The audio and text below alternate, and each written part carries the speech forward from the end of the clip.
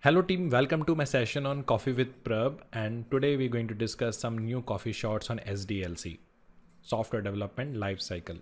This is the very important topic for CISSP, CCSP, ISSAP, CSSLP. I already did some videos in past on the same topic and I got a great response on that. And this is something as a new questions I am basically launching in this video. If you're new to my YouTube channel, do subscribe to my YouTube channel and click on the bell icon to make sure you should not miss my future videos on a similar topic. My name is Prabh Nair. For more information, you can refer my LinkedIn profile. So let's start with the first part. Okay, so first question.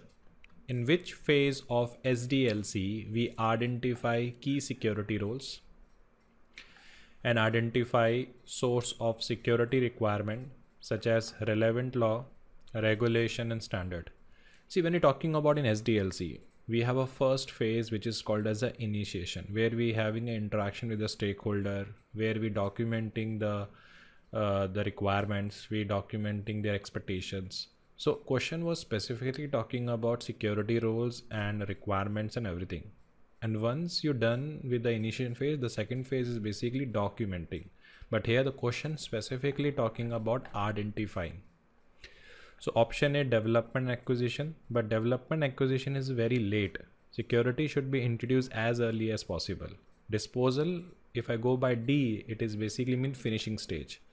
Operation maintenance where we launch the application. So only option which is very closed here is initiation. For your information these coffee uh, coffee shots are more based on the nist okay so according to NIST, initiation is a phase where we identify the requirement, interacting with the stakeholders, we agreed on the security trainings, we understand the projects, we understand the legal regulatory requirement associated with the project. We do more like a due diligence in this particular phase. Lack of due diligence in this particular phase will impact a lot of productivity issues in the further stage and lot of risk also. So actual due diligence will be done in this phase only. Let's move to the next coffee shot. Okay, in which phase of SDLC we first, question document sequence, first determine, it means due diligence and analyze the privacy requirement. We still in a phase of identifying, analyzing, not documenting. So option A, development acquisition. Actually, development acquisition is basically stage where we after having an interaction we decide okay this application going to meet my privacy so let me onboard that vendor. So a will be the late c will be the late d is basically withdrawal. So only option is basically left is initiation phase. That's why i'm going with the answer b. Okay let's move to the next coffee shot. Okay so in which phase of sdlc business requirement in terms of confidentiality, integrity, availability is reviewed. Again, we are not documenting, we are not introducing, we just reviewing. Development acquisition will be the late, operation maintenance will be late, disposal is basically we withdrawal. So only option which is closely left is initiation. That's why the answer is initiation. So in the initiation, we request the documentations from the customer and in that we try to review the CIA aspect of the application. Let's move to the next coffee shot. Okay, so in which stage of SDLC ensuring all key stakeholders have common understanding, including the security implications, consideration, requirements, outlining initial thoughts on security key milestones, including time frame or development triggers. If you read the question carefully, stakeholders are the interested parties, which can be developers, business owners and all that. Another keyword is implication, what need to be included, what need to be removed.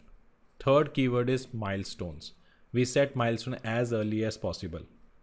So if I go by D, D is eliminate. Operation maintenance is the phase where we launch the application. Once the application launch, it is moved in operation maintenance development is basically receive the requirement so milestone will be defined in the initial stage.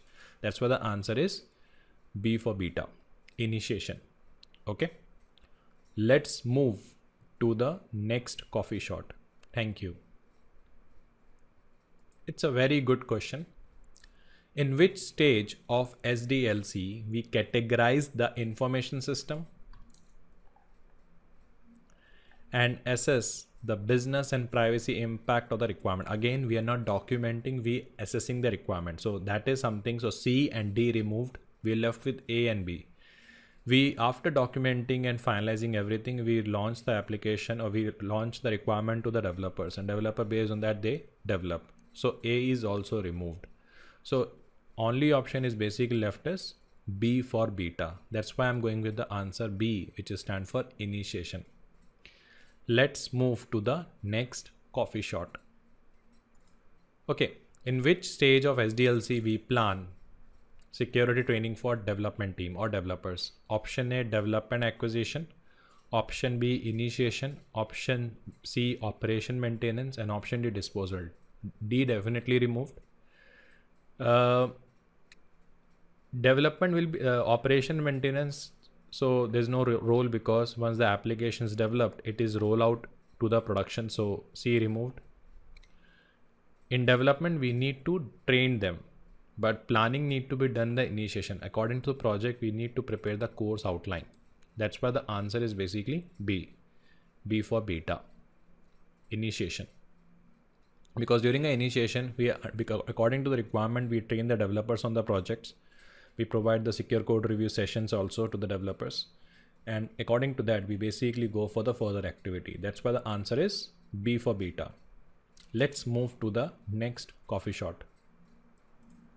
It looked like a yummy coffee. Which of the following methodology have a process for launching simplified version of a system or application is built and release for feedback and review and then launch the final version. It means we're talking about which methodology, which launch the simplified version, collect the feedback and then launch the final version.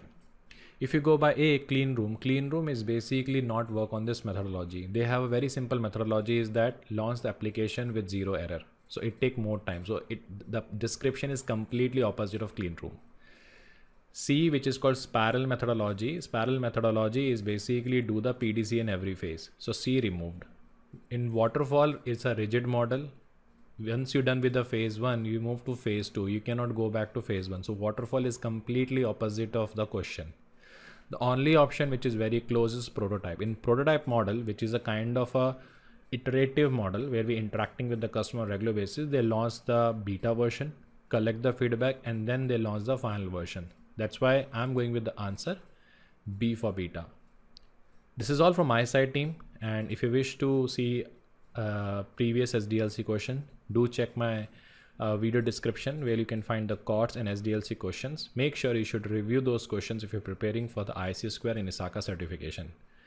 And uh, do let me know your feedback in the comment section and uh, let me know what kind of a video you want to make on following IC Square and ISACA topics. Thank you for watching my video.